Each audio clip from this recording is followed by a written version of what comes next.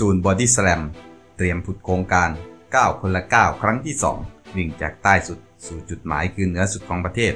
ใช้เวลากว่า 2 เดือน ตั้งเป้ายอดบริจาค 700 ล้านบาท และครั้งนี้จะเป็นการวิ่งครั้งสุดท้ายที่จะออกมาระดมทุน ยังคงเดินหน้าทำความดีเพื่อส่วนรวมอย่างต่อเนื่อง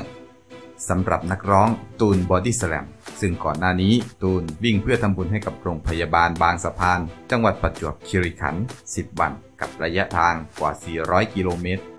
มียอดบริจาคทะลุ 85 ล้านบาท และโครงการ 9 คนละ 9 จะกลับมาสร้างปรากฏการณ์อีกครั้งหนึ่ง กับก้าวใหม่ที่ไกลกว่าเดิมท้าทายยิ่งขึ้น โดยจุดสตาร์ทจะเริ่มจากป้ายใต้สุดแดนสยาม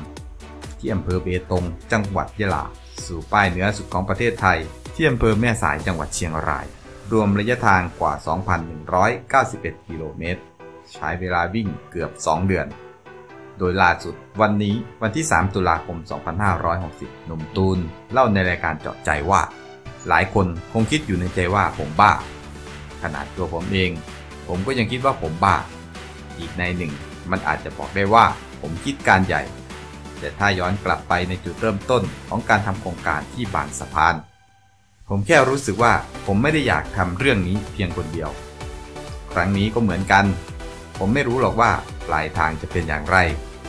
แต่ขอทำและอยากให้ทุกคนเห็นปัญหาร่วมกัน ซึ่งผมหวังว่ามันจะเป็นจุดเริ่มต้นของการเปลี่ยนแปลงบางอย่าง และหนุ่มตูนยังบอกอีกว่า ครั้งนี้ผมจะวิ่งจากใต้สุดแดนสยามอำเภอเบตงจังหวัดยะลา ไปจนถึงเหนือสุดคืออำเภอแม่สายจังหวัดเชียงราย ซึ่งเป้าหมายในใจผม ผมอยากได้ยอดบริจาค 700 ล้านบาท นี่เป็นตัวเลขในอุดมคติของผม ฟังดูแล้วมันเยอะมาก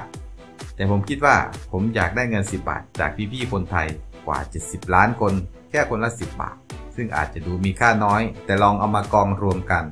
เงิน 10 บาทมันสามารถช่วยเหลือชีวิตคนได้จริง ๆ อยากให้ทุกคนเห็นถึงพลังในการรวมตัวกัน พลังแห่งการก้าวทีละก้าวเล็ก ๆ มันก็สามารถยิ่งใหญ่ได้ ดังนั้นรอบนี้จะเป็นการวิ่งครั้งใหม่ที่ยาวที่สุดในชีวิตของผม และเป็นการวิ่งครั้งสุดท้ายที่จะออกมาระดมทุน ยังไงก็ขอเป็นกำลังใจให้พี่ตูนในการทำโครงการ 9 คนละ 9 ครั้งที่ 2 ครั้งนี้